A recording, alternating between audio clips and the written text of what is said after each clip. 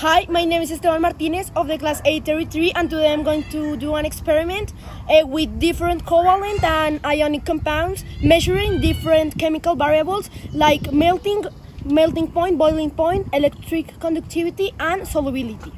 So the four co compounds that I choose are sugar, salt, vinegar and alcohol.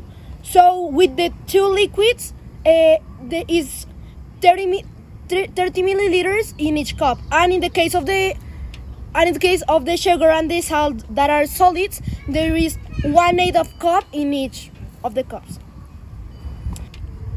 Uh, so first the salt uh, the sugar which is with is a covalent compound. So uh, the most important characteristics of these compounds is that they have a lower melting and boiling point comparing to the ionic uh, compound. So because of this, it's most easy like to measure these chemical variables because it's faster and the temperature is lower.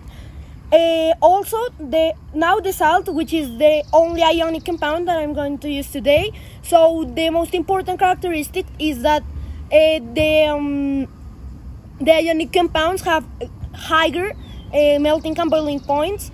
So the temperature that has to reach to make the boiling point of this is very difficult. It is also important to say that the ionic compounds are very good conductors of electricity. Now the vinegar is also um, covalent compound, so yes, and alcohol also a covalent compound. So we can see that the melting point and the boiling point are lower, and also they are poor uh, conductors, electricity conductors.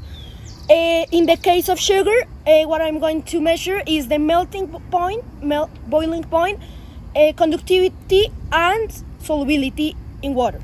So I decided to make four variables for this one because, as you can know, as you know, the covalent compounds have high, a low melting and boiling point, so it's going to be more easy.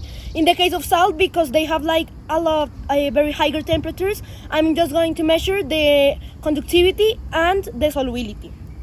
In the case of vinegar, uh, I'm going to measure uh, only three variables, boiling point, electric conductivity and solubility. In this case, I'm not gonna measure the melting point because as you can see, this is already a liquid, so it is already in a melting state. Uh, also, the alcohol, I'm just gonna measure three of the variables because this is a liquid, so there is not have a melting point. So now we're going to the kitchen with this sugar to put it in a pan with medium fire and let's wait the changes that this sugar makes.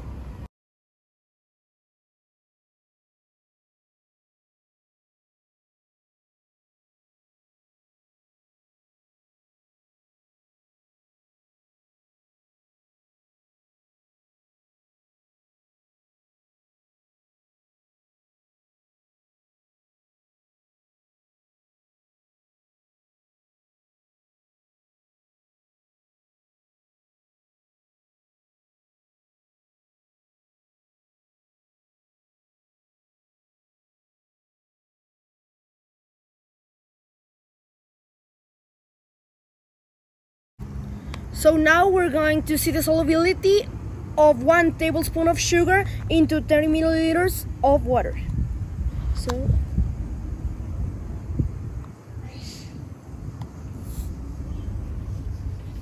So now we're going to mix it a little bit.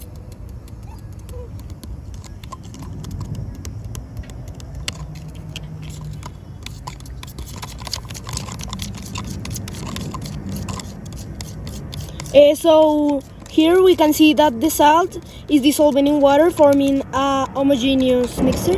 Uh, so now uh, we see that the sugar is dissolving in water to make a homogeneous mixture. So then we can see the little particles of sugar mixing it with the water. So here we can see that after a, few minutes of, of mixing, uh, we can see that in the deep there is a, a, little bit of sugar, but uh, this uh, mixture is mixed. So there we can see.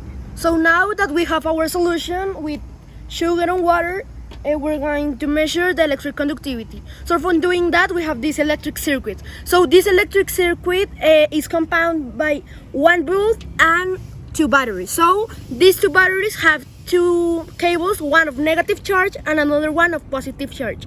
Also, this bulb is also connected with two cables, one of negative charge and, all, and two and, oh, and another one with positive charge. So then in the middle we have two cables that have the same charge. So what is going to happen is that if we put these two cables into the solution of sugar and water and the light bulb turns on, this means that this compound is a good conductor of electricity. So now I'm gonna this. So now for you to see that this circuit actually works, we're going to uh, make two these two same charge cables together. So we're going to see if this light bulb turns on. So here you can see that the light bulb turns on. So then we're going to do this same procedure, but with the solution of sugar and water. So it's important that the cables uh, never touch each other because this is going like have a different result. So then in the light bulb you see there is not is not on and this is because this sugar is a covalent compound and one of the characteristics of these compounds is that they are conductors of electricity.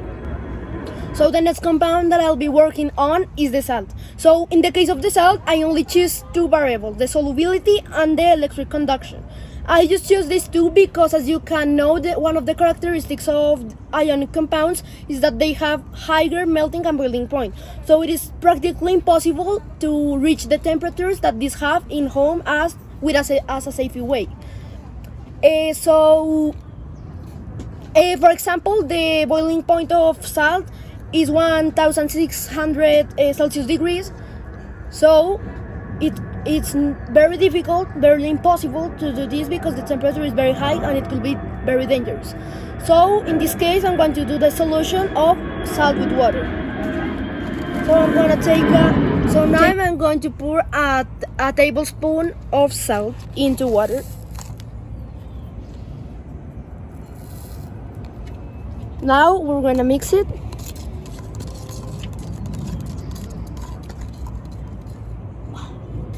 So uh, here we can see as the last compound, we use 30 milliliters of water with one tablespoon of salt. Uh, so we are mixing the, the salt and we see that uh, instead of sugar, this salt is very dissolved and is quickly. So we can see that in this in this case there is not uh, so much salt in the dip because it forms a homogeneous mixture. Uh, so now okay. I'm going to, to measure the electric conductivity of salt. So I'm going to put these two cables into the solution of water and salt. So as we can see, um, salt is conductor of of electricity because it's ionic compound. So one of the characteristics of the ionic compound is that they have a lot, uh, they are very good conductors of electricity. Uh, so now I'm going to work with the alcohol and its boiling point. In this case, I'm wearing safety elements because the gas that the alcohol produces could be bad for for me to inhale. So that's why I'm wearing a mask and gloves and, and glasses.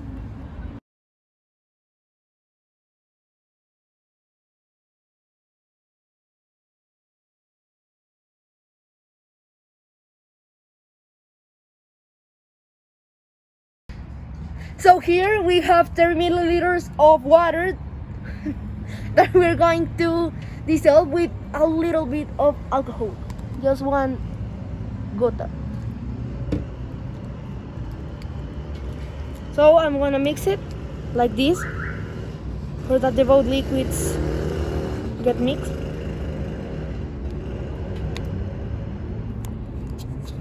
Uh, so we can see that uh, as the both of the compounds are liquid, so it is totally dissolved. Now I'm going to do the electric conductivity proof. So I'm going to put these two cables that have the same charge into the glass.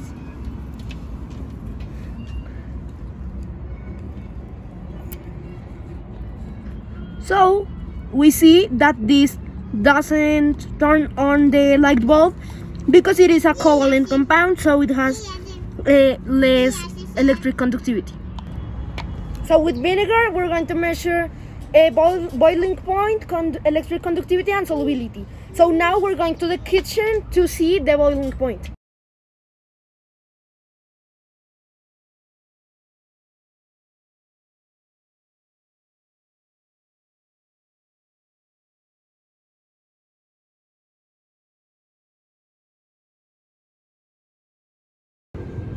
So uh, now we're going to do the vinegar. So here we have 30 milliliters of water and we're going to put a drop of vinegar. Uh, so we're going like to shake it. So here, uh, just as the alcohol, we see that the vinegar is totally dissolving water because they both are liquids. Now we're going to see the electric conduction con conductivity sorry. Uh, so we're going to put the two cables on the water. So we can see that this vinegar is a good conductor of electricity. So this has been our experiment. I wish you like it. See you